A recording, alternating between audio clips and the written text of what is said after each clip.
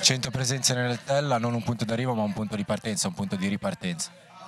Sì, un punto di partenza sicuramente e raggiungere questa quota con questa maglia è davvero un onore per me.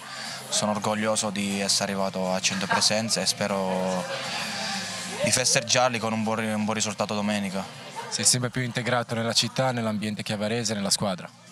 Sì, a Chiavari sto bene, con i miei compagni sto benissimo e voglio solo continuare a allenarmi bene e fare bene in partita. Domenica arriva al Bari Capolista, una squadra che recentemente comunque ha portato bene al Comunale. Che, che tipo di partita ti aspetti e cosa sfodererà l'Entella contro il Bari?